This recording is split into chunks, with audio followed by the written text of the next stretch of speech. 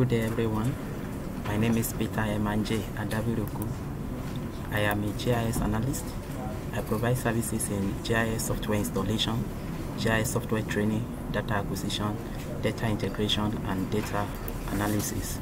Today, I want to show you how to clip features in ArcGIS. Essentially, to clip features means to cut out your area of interest out of a vector uh, features. And remember to subscribe to my channel. Let's go to ArcGIS environment. This is ArcMap interface. Uh, the first thing we want to do is to add our data. Click on add data. Navigate to your folder. In this case my folder is my exercise folder located on my desktop.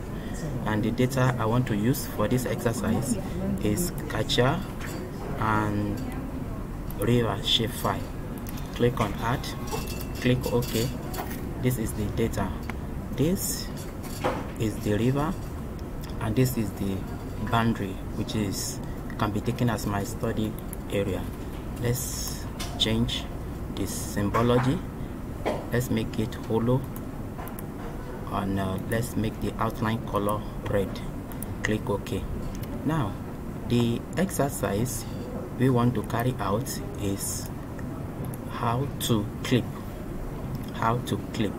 So to do that it means this is the river that occupy other places but we want only the river within this boundary. So to do that we go to geoprocessing. Click on geoprocessing click on clip. Now this covers will be open.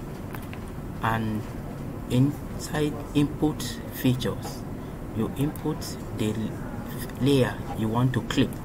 In this case it is the rivers then clip features that is the area boundary or the area extent you want that features to be clipped. In this case CATIA you click on CATIA then you look navigate to your folder and save it. Let's save this one as river underscore clip.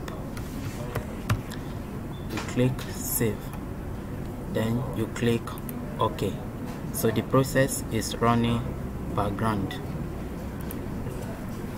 So the process is finished and this is it.